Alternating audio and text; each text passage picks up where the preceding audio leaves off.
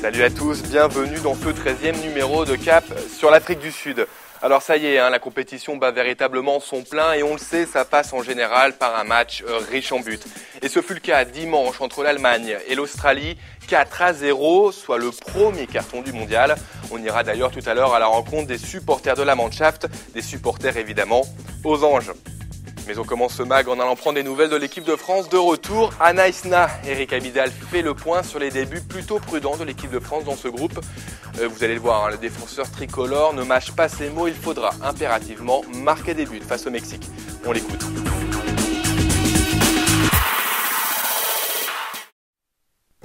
La pression monte petit à petit pour les Bleus après des matchs de préparation, on va dire en dents Ils nous avaient promis, juré qu'ils seraient prêts face à l'Uruguay.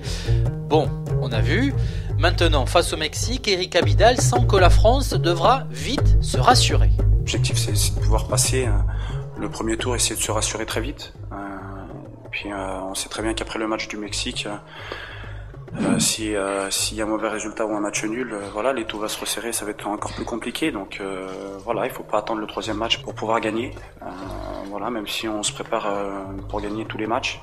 On l'a vu contre l'Uruguay, on s'était préparé. Et, malheureusement, il manquait ce, but pour pouvoir faire la différence. Donc à, nous de, bah, de, garder les choses positives qu'on a pu avoir durant, durant le match de, l'Uruguay et essayer de, de, faire un peu plus contre le Mexique pour pouvoir gagner. Eric Abidal sait aussi qu'il faudra faire attention à l'attaque aztèque, mais les Bleus auront des possibilités devant, possibilités s'ils retrouvent leur efficacité.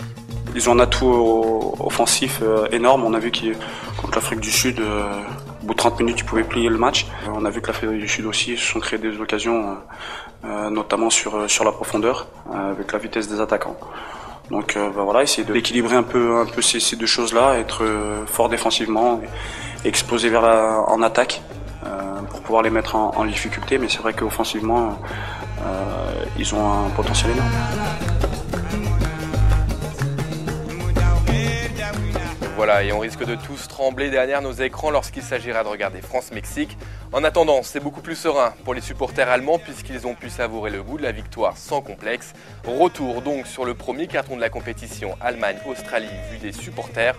Reportage.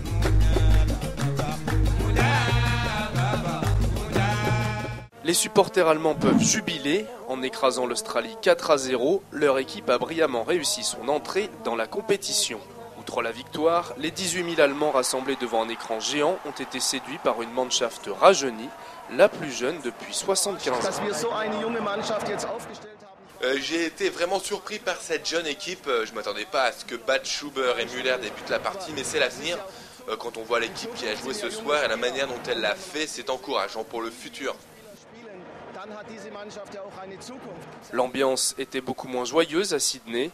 Huitième de finaliste en 2006, les Australiens ont déçu, mais leurs supporters reconnaissent sans mal la supériorité de leur adversaire du soir. Euh, La manière dont les Allemands ont fait circuler le ballon était impressionnante.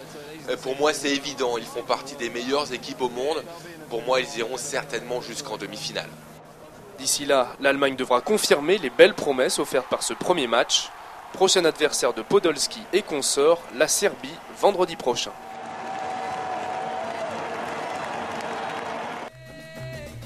Voilà, c'est la fin de ce 13e numéro de Cap sur l'Afrique du Sud. On se quitte en images avec la visite des Bleus du Township de Naïsna. A très vite sur sports.fr.